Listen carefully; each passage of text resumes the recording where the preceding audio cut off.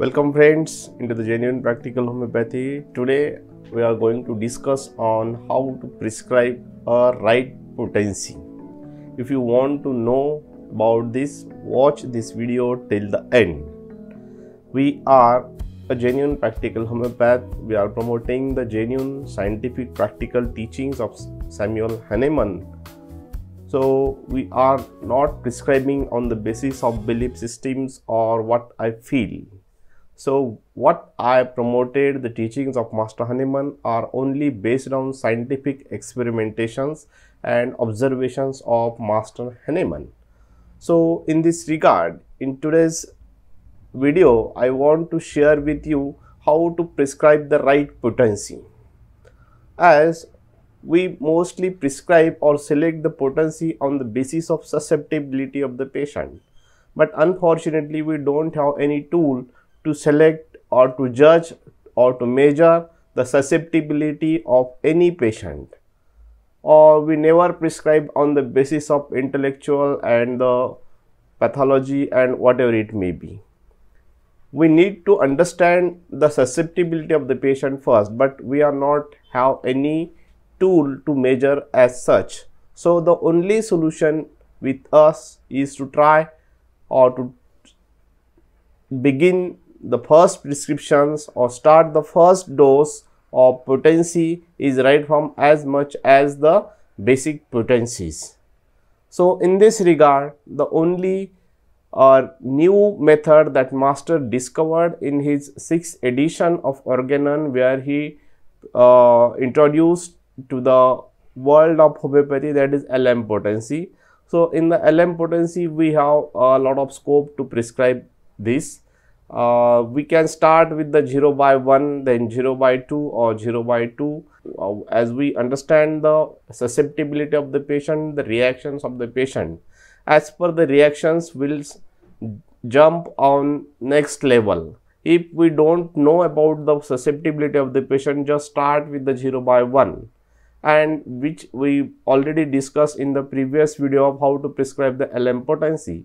So, when you prescribe the LM1 or 0 by 1, so observe the reactions of the patients to the remedy, then judge accordingly how much patient is reacting to that dose, then increase dose as per your needs. If patient is responding very well, so just prescribe every two or four days if patient is not responding that much give the alternate day or a daily one single dose but by assessing the reactions of the patient.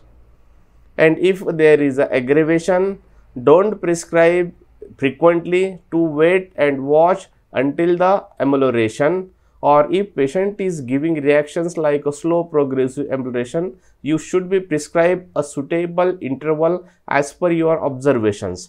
Don't uh, use uh, random like a TID, BID and all these things.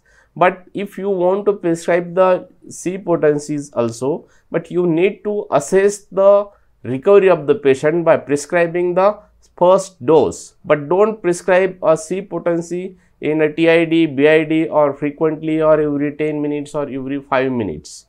Give the first dose, observe the reactions of the patients, then promote or then use a next level potency either you are using a C potency or 30 potency. Then after uh, reactions of the patient if you want to use uh, 200 so use it very cautiously because it is a too much huge gap because 30 and 200 is a lot of uh, shades to the reactions or susceptibility of the patient. Use judiciously this potency. By experimentation and by observation of the patient's reactions after your first dose. But unfortunately, we people are uh, prescribing just on someone said that or the belief systems of someone, you should be judge yourself. Don't prescribe on the basis of uh, someone told you that you need to experiment it on after your first prescriptions what are the reactions of the patients that you studied into the Organon of medicines? And accordingly you can use the next dose of potency as per the reactions of the patient but not on the your own interpretations your own feelings own belief system because belief systems and feelings are not fact. This is not a science. If you want to treat homeopathic uh, if you want to use a homeopathic remedy correctly you need to do the experiment you need to understood what master want to teach you what are his teachings actually and scientifically and practically too. If you know all these things very judiciously very correctly very scientifically there is no any doubt in your success. So to know more about a genuine practical homeopathy do not forget to like share and comment uh, our channel and these videos. Thank you